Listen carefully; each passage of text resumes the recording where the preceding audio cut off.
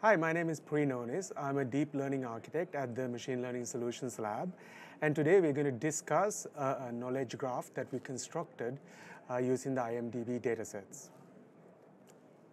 So let's take a look at the data that we used. The IMDb Essential Metadata Dataset contains a continuously refreshed metadata for every movie, TV series, video game uh, titles, uh, including performer details and other information such as the IMDb's uh, world-renowned 1 to 10 star rating. Uh, furthermore, the detailed information such as awards, locations, keywords provided by holistic view uh, of 8 million plus titles and 11 million cast and crew members. Uh, this includes over 1 billion ratings from the world's largest entertainment fan community. And in addition to this, the IMDb box office dataset tracks box office receipts from domestically and internationally uh, comprehensive box office data for over 60 plus countries. Additionally, it includes production budgets, release calendars, and production status of upcoming titles. So, what is a knowledge graph? A knowledge graph represents physical and abstract entities, for example, objects, concepts, situations, events, and it illustrates the relationship between them. This information is usually stored in special graph database and visualized in the form of a, a structured graph, prompting the term knowledge graph. A knowledge graph is made out of three main components, nodes, edges, and properties. Any entity could be a node.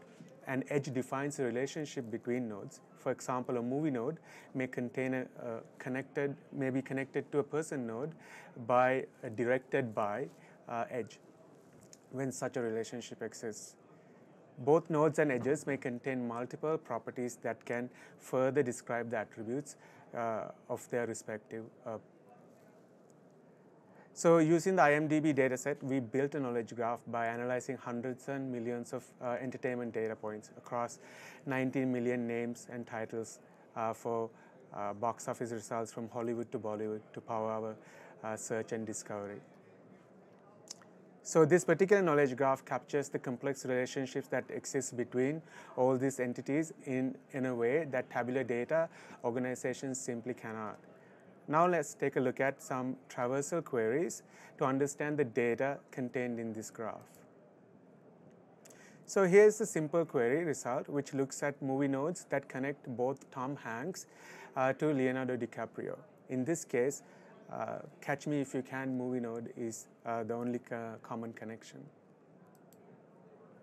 Here is an example query result that traversed the graph to find top grossing uh, films that were filmed in New Zealand and had a minimum IMDb rating of at least 7.5. And in this example, we uh, look at we are looking at the results uh, for Oscar winners uh, that uh, uh, contained action and drama genres.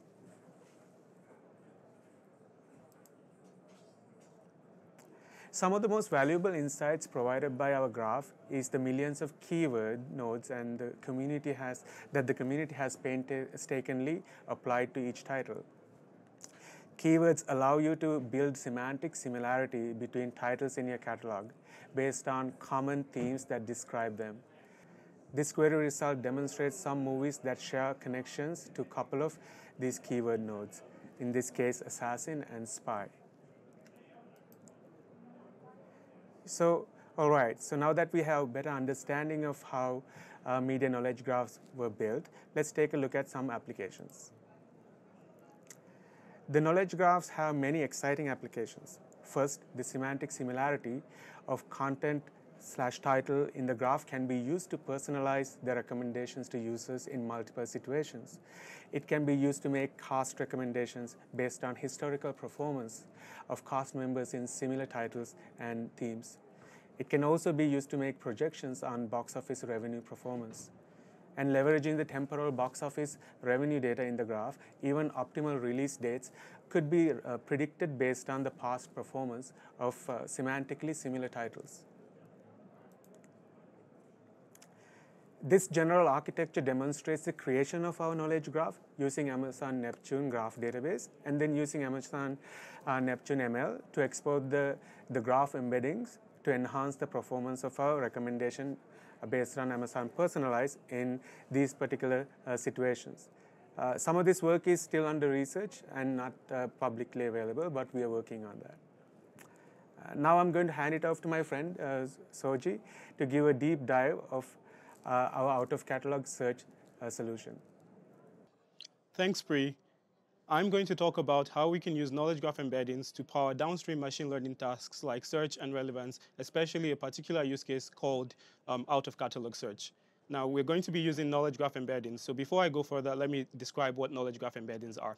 Pri already introduced the concept of a knowledge graph. A knowledge graph essentially contains entities and relationship between entities. So these entities could be movies, and the relationships could be the directed by relationship or the starred in relationship, denoting that a particular actor starred in a particular movie.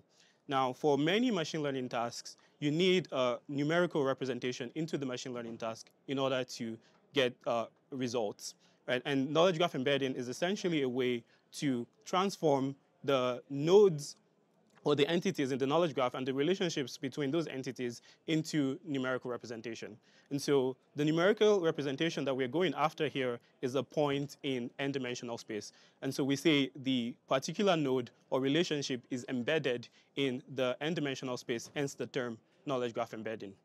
And so in this particular demo, I will show you how we can use these derived knowledge graph embeddings to power out-of-catalog search. But let's talk about how we can uh, how we can create this knowledge graph embeddings.